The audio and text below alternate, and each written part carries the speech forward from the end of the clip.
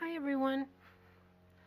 I um, finished another journal and I wanted to share it with you. This one is called Fresh Daisies. Well, that's the kit. I got it at um, LJB Instaprints on Etsy.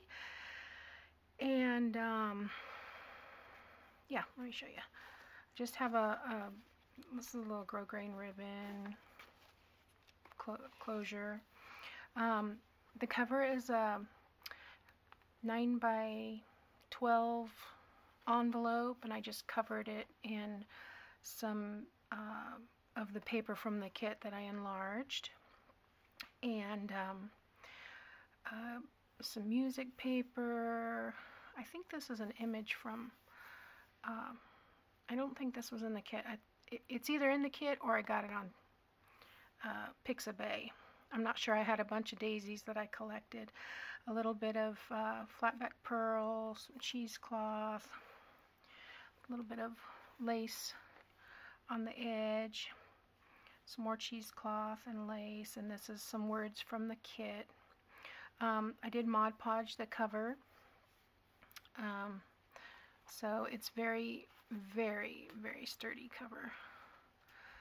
So um, I just put a little pocket on the inside. And I had printed out some um, scriptures and I coffee dyed them. So this is from the kit. This is a little card set I got that happened to have daisies on it. And um, paper's from the kit. I put um, trim, uh, uh, crochet trim, sorry, on the uh, edges of the designer paper. And um, some of it's coffee dyed, some of it's not. It's kind of a mishmash. Um, this is a journal card from the kit. This is um, I can't remember what she called them. I want to say flip over kind of tag.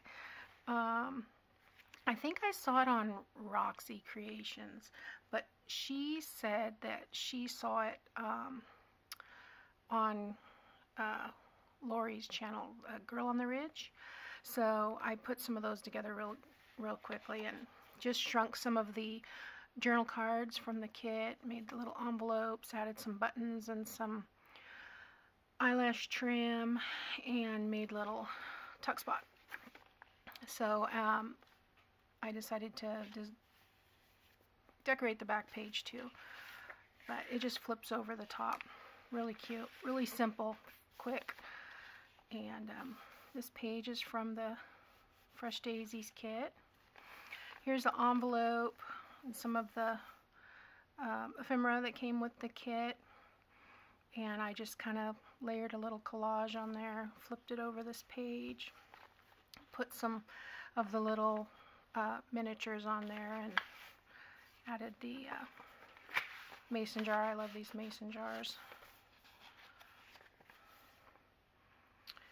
A little tuck spot with some lace and just this, all this ephemera came um, with the kit. Made I took one of the pages and just made some tags. I don't believe it came with tags. So, little bingo card. And um, I think I got that on Pixabay. I'm not sure. Some of the stuff that came was in the kit I've seen elsewhere, so I'm a little, uh, I kind of forget. Um, this little belly band with some eyelash trim and a little daisy. More of the designer paper. This is from a, a hymn book that my friend Teresa gave me.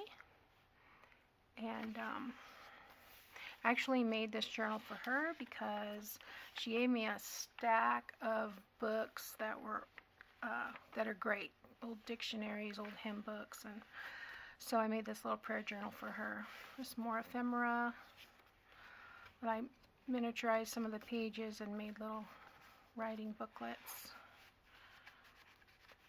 little crochet trim. Pretty sure I use the same trim throughout here. More, there's a smaller envelope. One of the larger pieces I just folded in half. Piece of extra music that I had. This is a, a really um, cute kit. Piece of um, dictionary page, little pocket, another miniature envelope, some more tags and ephemera. Well, ephemera, I use that term loosely, as do a lot of people, I suppose, because we make our own ephemera. This is from the um, Country Diary of an Edwardian Lady. Gosh, I hope that's the right book. Um, but yeah, they had the page about daisies, so I put that in the middle and just added some little journal cards. Um, I saw Gail Agostinelli do this. And the lace in the middle. I love that. That's also her idea. Well, um, a little daisy, uh, doily. Excuse me, I got daisies on the brain. And another scripture, another bingo card. Excuse me. Another tag. I just put a piece of crochet lace on that. I, I didn't stuff it full of stuff because I wanted Teresa to be able to write in it um, and add her own spin on things. So I love this picture right here. A little bit of writing paper, more from the kit, another journal card. That's pretty too. The other side of the hymn book.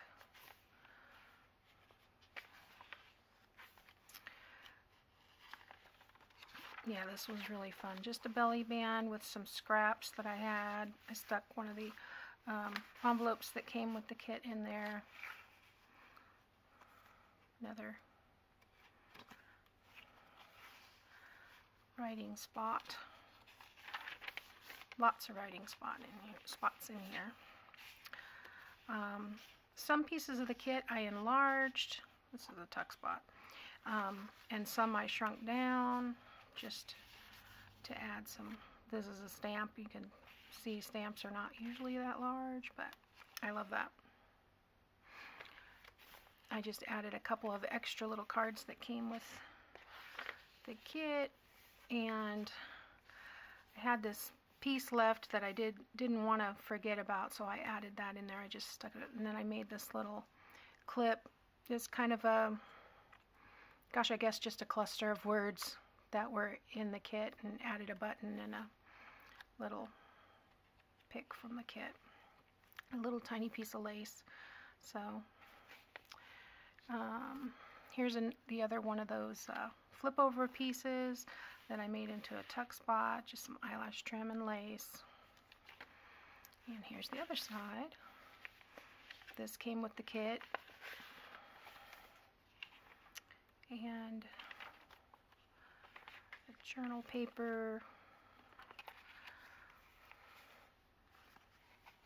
That's the larger version of the other one. This one was so pretty. Just love that. So I added some some lace and a little paper daisy to it. And that's it. So hope you enjoyed seeing it. I think it turned out really cute and I hope that um, Teresa enjoys it. I think she will. She said she loves I'm not going to tie that because you know how it is when you're on camera. Uh, she said she loved white daisies, so I got white daisies and a bunch of others in here for her. So anyway, thanks. Talk to you next time.